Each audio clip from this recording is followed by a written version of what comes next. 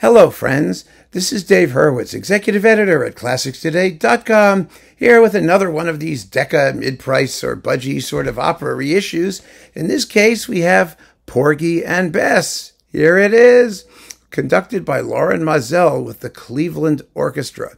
Now, let me say right away that the playing of the orchestra is just fabulous and the Sonics are terrific, and so is the cast.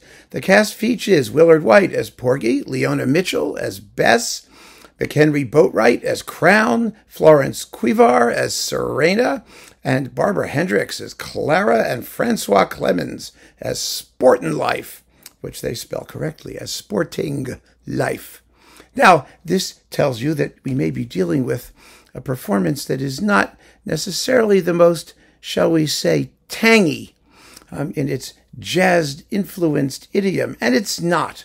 You know, Lorin Maazel's contention, remember his liner notes from the original issue was, This is an opera in the tradition of grand opera, and I'm playing it like an opera in the tradition of grand opera. Ha ha. So there. And he does. And it works perfectly well because Porgy and Bess is a grand, grand opera. It is the American Boris Godunov it really is. I mean, you think about it, it's just a fantastic piece of music.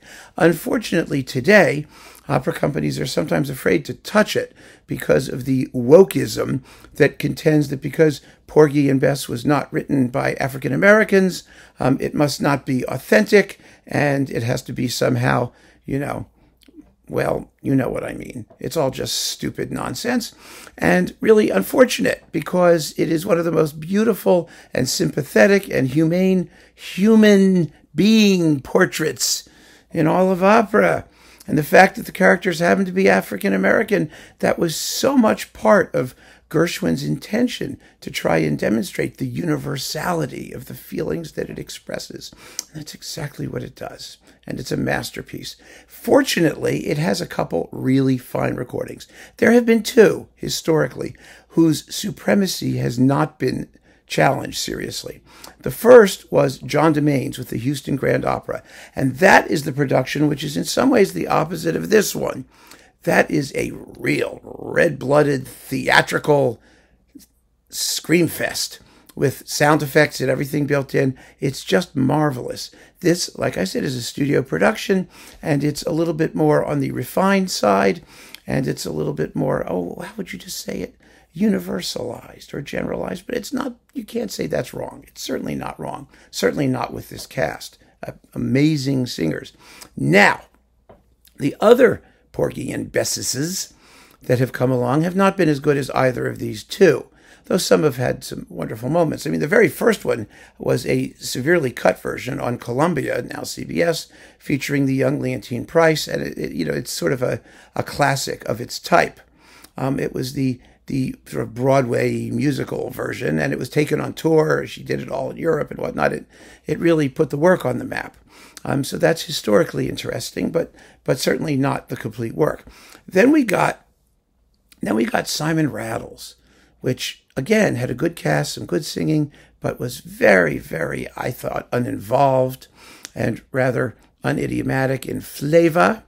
Um, much more so than this. I mean, it just it just had it had no pizzazz, in my view. And I remember very, very vividly after, you know, Gramophone and those people were screaming about how fabulous it was and they gave it a million awards in the UK and whatnot. I met a member of the cast and and I I said, What did you think of it? And that member of the cast, who shall remain nameless, but who was a major member of the cast, it was a he, said to me, Oh, he had no idea what he was doing. He was lecturing us on how to sing jazz music properly. It was just ridiculous. He was obnoxious, and that was it. And well, that sort of confirmed what I thought of it, which was kind of gratifying.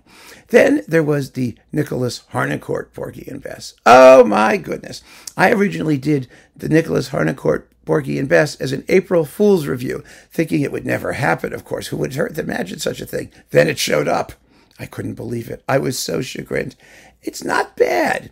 It's a very light, very, very um, elegant and uninvolving performance in many, many ways. I mean, they do do some things kind of interestingly. You know, Sommerzeit und die Leben ist einfach. And and es ist nicht necessarisch benutzlich so whatever. I don't know. I mean, I'm just kidding. They didn't do it in German, but you kind of wish they did. It would have been so much more fun. Anyway, um, that's kind of a non-starter for all that that Harnoncourt really loves the work. I mean, he did love the work, but his Aida was a non-starter for the same way. He just Harnoncourticized everything, and, and sometimes it worked, and sometimes it didn't. You know, you just sort of live with it. Then uh, John Mauceri did uh, a abridged an abridged version that represented the performance that that Gershwin first brought to the stage after initial tryouts when it had to be cut down.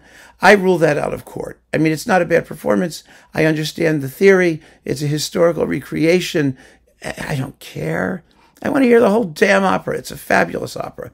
So if you want to hear the whole damn opera, this is a really great way to go. This and the RCA with John DeMain and the Houston Grand Opera. That's it for Porgy and Bess. And then you're in fabulous shape.